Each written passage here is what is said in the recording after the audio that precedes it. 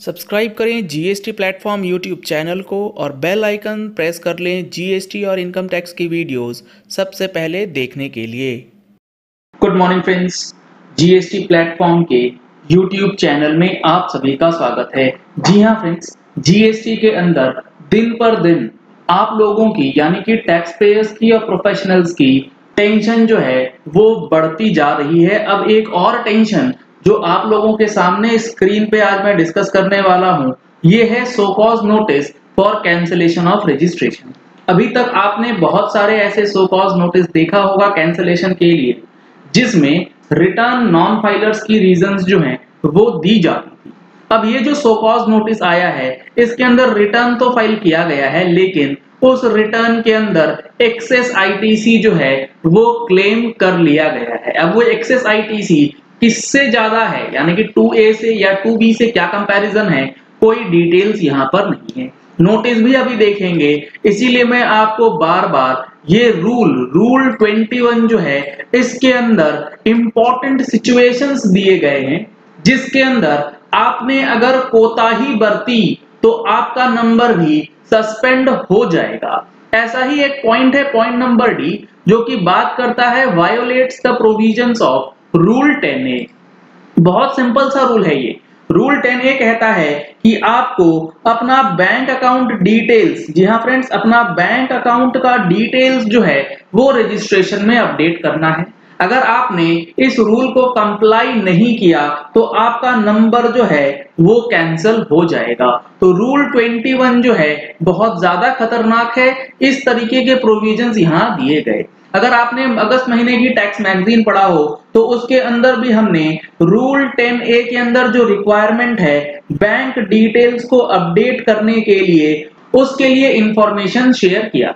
अगर आप लोगों ने अभी तक मंथली टैक्स मैगजीन का सब्सक्रिप्शन नहीं लिया है तो इन नंबर्स पे कॉल करके व्हाट्सएप करके आप मैगजीन का सब्सक्रिप्शन ले सकते हैं।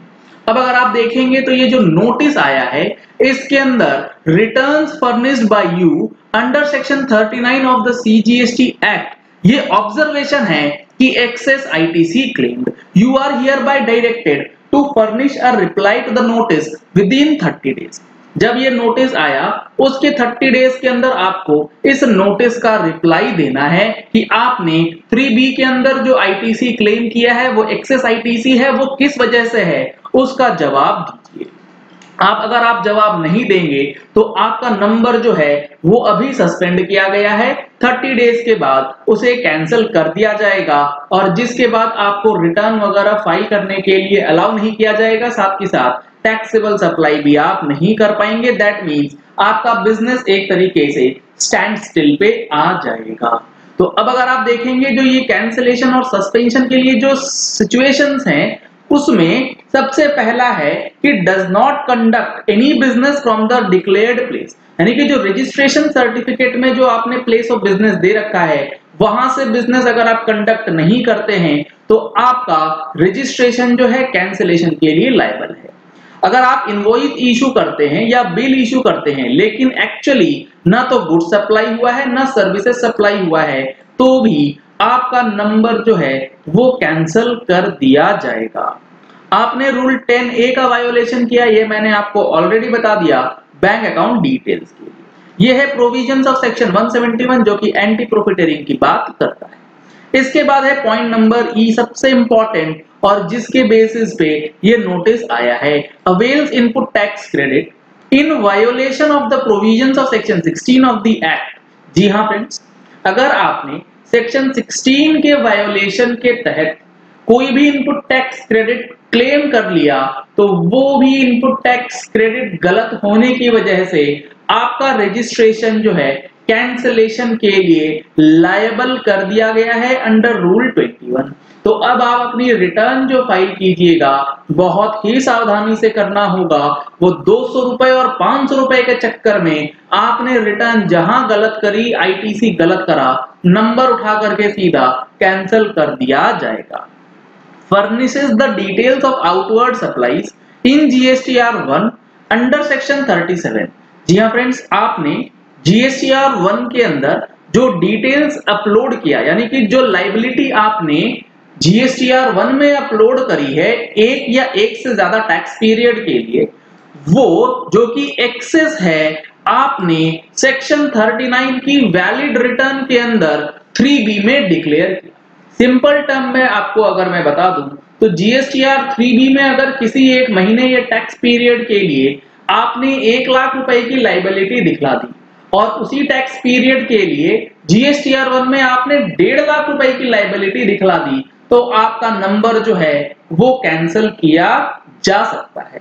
क्योंकि सरकार को टैक्स आप भरेंगे थ्री बी से, जो कि होगा एक लाख, और सामने वाले को आईटीसी जो आप देंगे, वो देंगे जीएसटीआर वन से, जो होगा डेढ़ लाख रुपए। तो इस चीज़ को रोकने के लिए गवर्नमेंट ने ये फॉर्मूला भी आपको दे रखा है। अगर आपने रूल 86 बी का वायोलेशन किया, तब भी आपका रजिस्ट्रेशन जो है, वो लाइबल है for the purpose of cancellation तो ये जो आपको सात ग्राउंड्स दिए हैं, इस सातों ग्राउंड को बहुत अच्छी तरीके से समझना ज़रूरी है, क्योंकि एक एक ग्राउंड को लेकर के नोटिस जो हैं, अब इशू होने लग रहे हैं। नॉन रिटर्न फाइलिंग तो था ही था। बैंक अकाउंट की वजह से भी नोटिस आने लग रहे हैं। इनपुट टैक्स क्रेडिट गलत ले लिया, उसके लिए भी आ गया। अब आपको इसके बाद जो देखने को मिल सकता है जीएसटीआर वन और थ्री बी के अंदर जो मिसमैच है, उसकी वजह से भी नोटिस जल्द ही मिलेगा।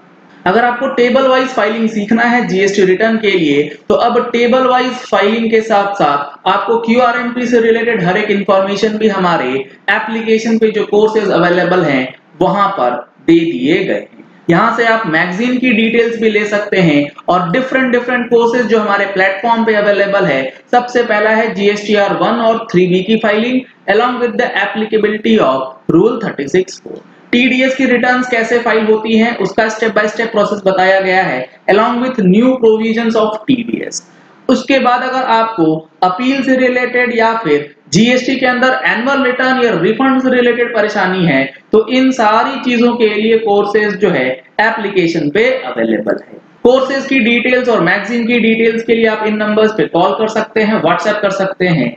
आपको डिटेल्स दे दी जाएगी।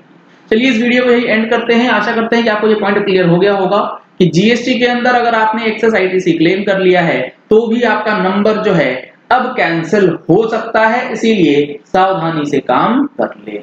अगर आपने हमारे चैनल पे फ़र्स्ट टाइम ट्यून इन किया है तो चैनल को सब्सक्राइब करने के लिए नीचे दिया गया रेड कलर का सब्सक्राइब बटन प्रेस कर लीजिए। साथ में जो बेल आइकन है, उसे भी प्रेस कर लीजिएगा ताकि वीडियोस की नोटिफिकेशन आप तक रेगुलरली पहुँचती रहें।